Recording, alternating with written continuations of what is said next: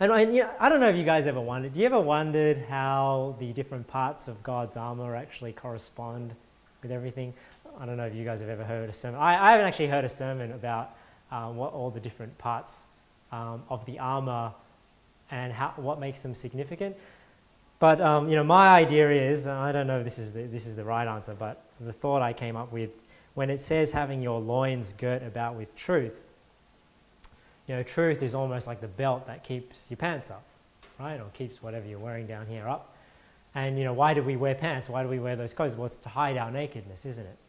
So the thought I had when we have our loins girt about with truth, it's almost like truth is what is keeping us from being ashamed. And that verse in 1 John 2 comes to mind where it talks about, you know, abide in the truth, that we won't be ashamed before him at his coming. Uh, so you have your loins girded about with truth, then you have the breastplate of righteousness. So how, why is it a breastplate of righteousness? And the thought there is, well, the breastplate is to protect your heart.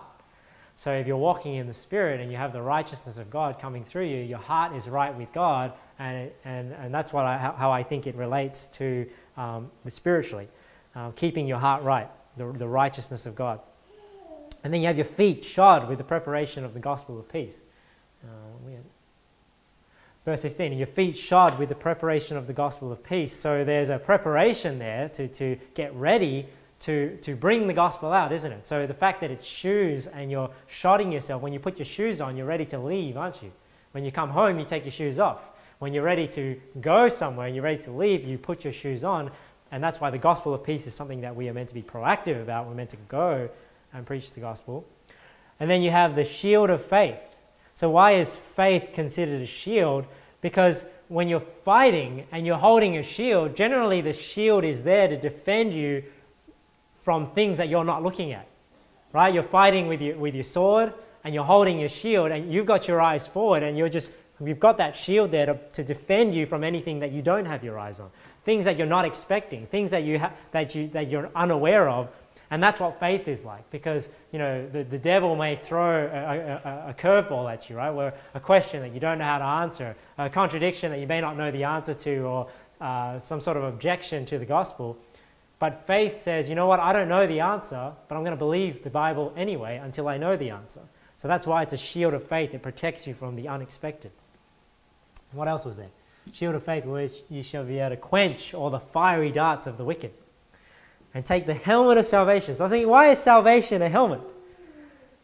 And, and my first thought was, maybe you guys have some thoughts on this too, but the helmet of salvation, because when people don't know whether they're saved, they're consumed with that, aren't they? Their mind is consumed with figuring out, am I saved or not? They're doubting their salvation. But when you know you have salvation, I think what it does is it keeps you, it gives you a sound mind so that you can, it protects your, your mind. Um, that's why it's a helmet. And the last one is the sword of the Spirit, which is the Word of God, which is the Bible, which is our, our offensive weapon, isn't it? Our sword. And that's what we use. Because, you know, the Bible likens you know, evangelism and soul winning in a fight, but we're not actually, we're not in a physical fight. We don't wrestle against flesh and blood. Ours is a spiritual fight. It's a, it's a fight of words, isn't it? Jesus said, The words that I speak unto you, they are spirit and they are life. The fight that we're in is, is a battle of the mind, it's a battle of words, and that's why the Word of God is, is our weapon, because it's where all our words should be based on.